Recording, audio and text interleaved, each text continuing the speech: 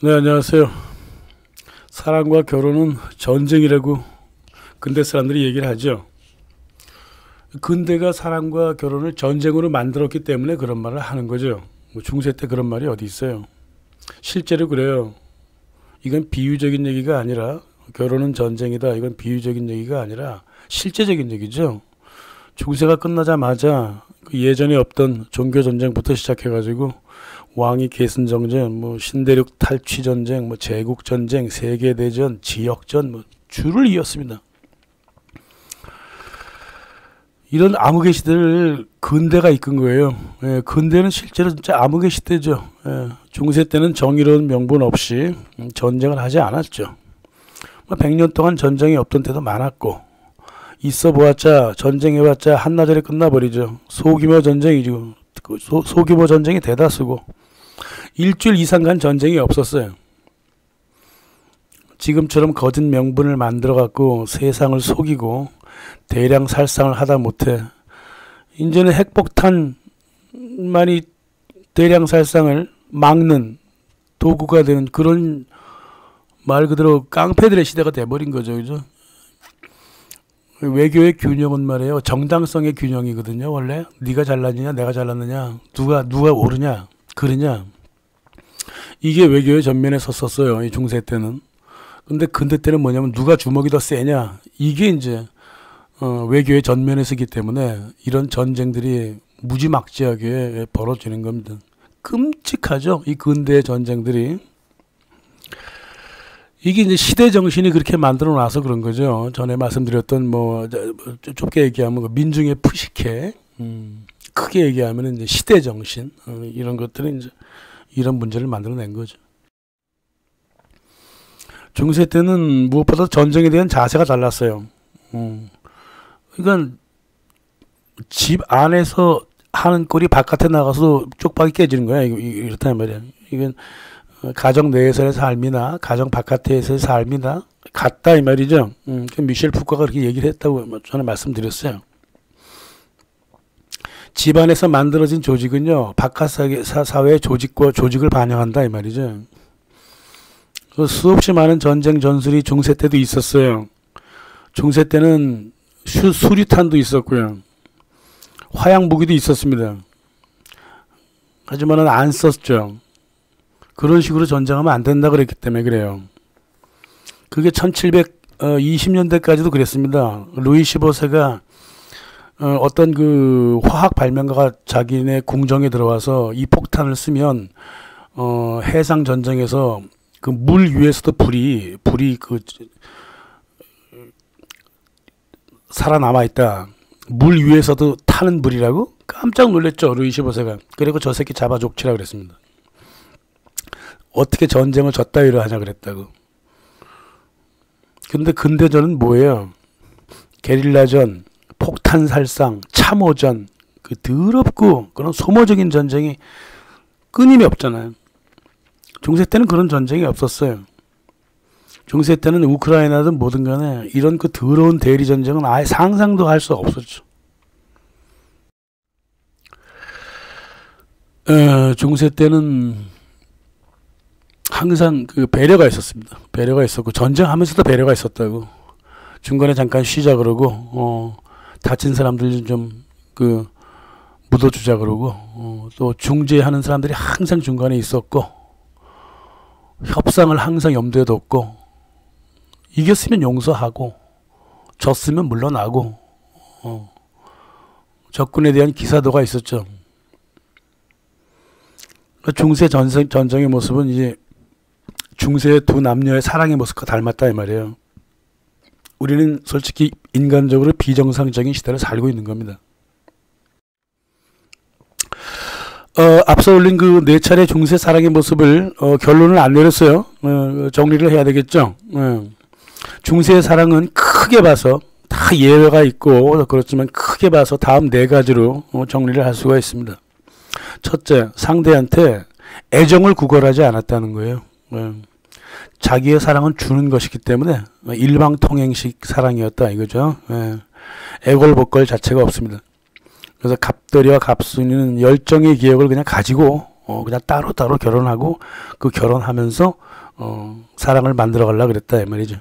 음, 사랑은 어, 기억 속에서 어, 뭐라 그럴까 어, 삶의 지혜로 변한 거죠. 두 번째 뭐 사랑은 기대하는 게 아니기 때문에 결혼 이후 두 남녀가 함께하는 삶으로부터 스스로 만들었다. 만들어지거나 만들려고 했다. 물론 이제 사랑이 결혼 이후에 왔다는 것이지 결혼이 사랑을 만든 인자는 아니다 이 말이야. 음, 결혼을 통해서 어, 삶을 배우듯이 사랑도 배워갔다는 것뿐이죠. 어, 결혼이 뭐, 뭐, 중요한 인자는 아니다 이거죠. 그 촉발제는 됐겠지만 세 번째 중세 부부는 서로 새로운 사랑을 찾기도 했습니다. 그러니까 삶의 출구도 찾았다 이 말이죠. 어? 딱 막힌 사이는 아니었다 이거예요.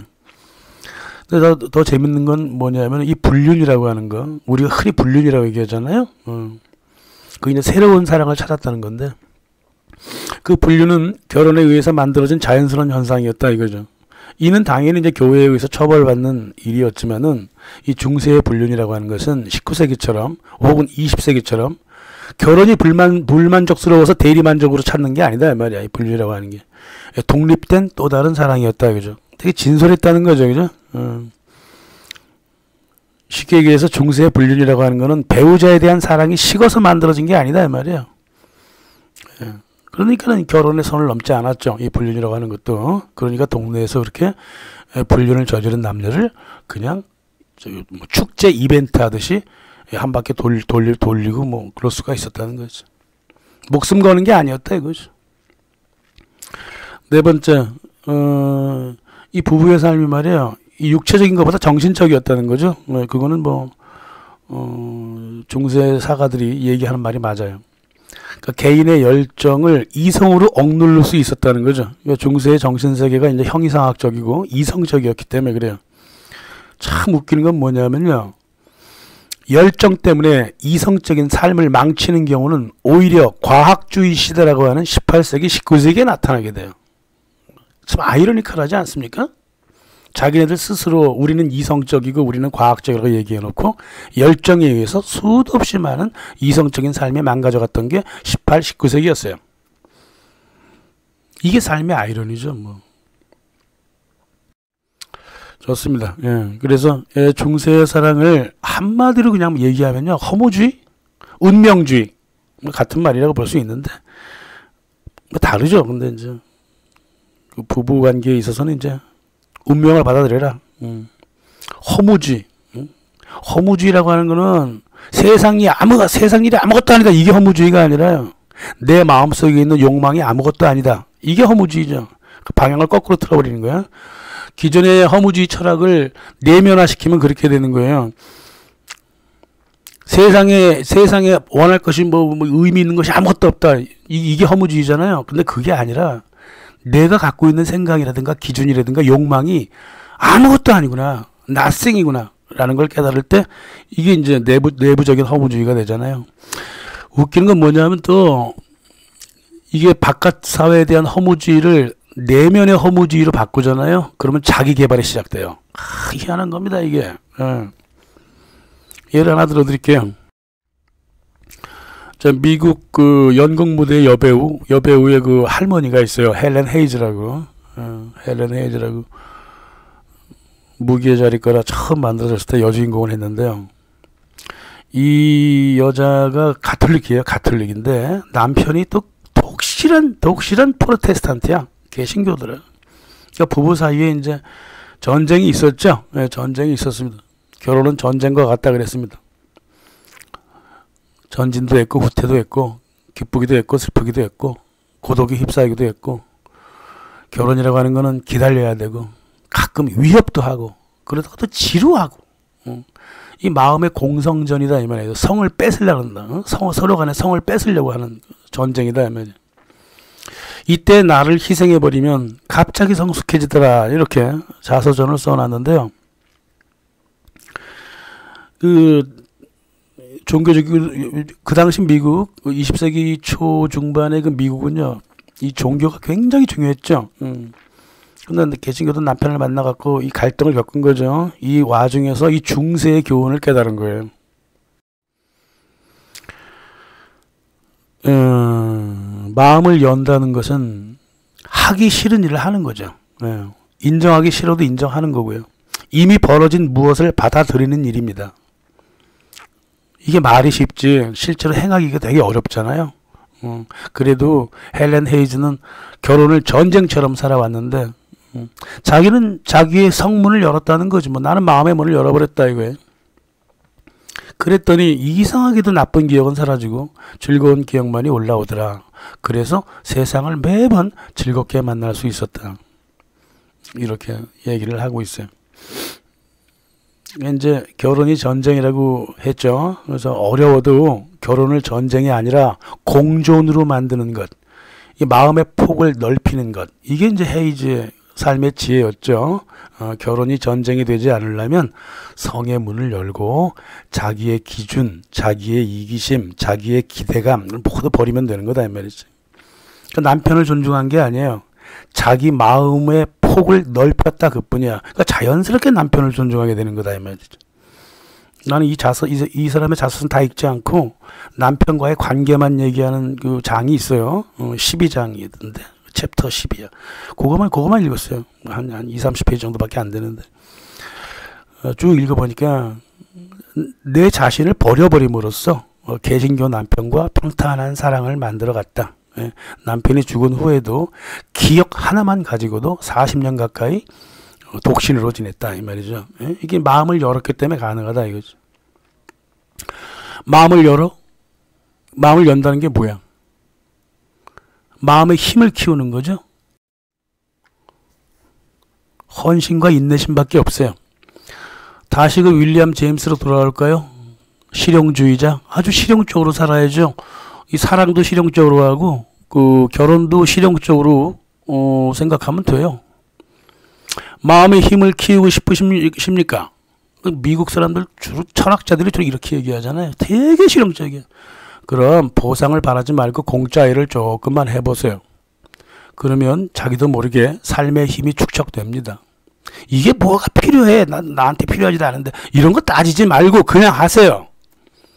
하기 싫은 일을 따지지 말고 매일 하라고요. 매일 하기 어려우면 이틀에 한 번씩 하세요. 자기 철학책에다가 이렇게 적어놨어요. 말이 되게 실용적이죠. 응? 매일 하기 싫으면 이틀에 한 번씩 하래. 이렇게 하다 보면 정작 필요할 때가 와요. 그때 자기의 힘이 납니다. 다른 사람들이 요 저기 이 번영문 중간에 사라진 게 뭐냐면 어, 다른 사람들이 집에 불이 나서 난리 버거지로 다 좌절하고 있을 때 당신만은 집에 불이 나도 살아남을 겁니다. 이게 실용주의예요. 예. 당신이 크기 위해서 당신을 버려라 그 말이에요. 예? 당신의 여유와 당신의 시간을 타인을 위해 봉사하라 그 말입니다. 어? 당신을 내려놔라 이 말이에요. 그래야지 당신이 커진다 그 말입니다. 이게 결혼과 사랑의 문제에서도 굉장히 중요한 거죠. 어, 뭐 당시 뭐 개척 시대를 살았기 때문에 윌리엄 제임스가 이제 어, 했던 말은 미국인들한테는 이제 하기 싫은 일을 하는 게 이제 괴롭고 고통과 시련이라기보다는 차라리 아주 긍정적인 삶의 선택이었다고 어? 기독교인들이 그 금식하듯이 그래서 청교도들한테 그 배울 점이 바로 이거예요. 응? 자기를 낮추고 금욕할 수 있는 그런 자세를 자꾸 강조한다고. 그러면서 이제 커가는 거야. 점점 커가는 겁니다. 적금 통장이 돈의 저축이라면 금욕은 마음의 저축입니다. 그렇게 돼 있다. 적금 통장은 저, 저축한 한도 내에서 물질적인 욕망을 성취하게 하지만은 이게 물리적인 저축이라는 게 욕망을 더 크게 만들 뿐이에요. 욕망에는 한도가 없기 때문에. 하지만은 타인을 인내하고 자기 자신을 금력시키는 거는 거꾸로 욕망을 억누른다고 그럼으로써 물리적 저축도 보관시킬 수 있어. 무엇보다 마음의 공간을 넓힙니다. 헬렌 헤이즈가 했던 것처럼 마음의 공간이 확 넓어져. 마음의 공간도 뭐 욕망과 같이 한도가 없기 때문에 음, 욕망이 하나 사라지면 그 공간이 자유의 공간이 되는 거예요. 자유가 뭡니까? 자기 욕망을 없애버리면 그 자유의 공간을 변해버리는 거다 말이죠. 삶이 제공하는 선택의 폭이 그렇게 넓어지는 거죠. 그죠? 음, 그 금식하면 음식이 남잖아요. 돈이 남잖아요. 식사 시간이 남잖아요. 마지막으로 여유가 남습니다. 그렇게 계속 해나가다 보면 자유의 공간이 되게 넓어지는 거예요. 어. 이 공간을 사랑으로 대체하면 그게 우리가 알고 있는 정이 되는 거죠. 정. 프라그마가 되는 겁니다. 이게 중세가 우리한테 남겨준 어, 사랑과 결혼의 교훈이 되겠습니다. 감사합니다.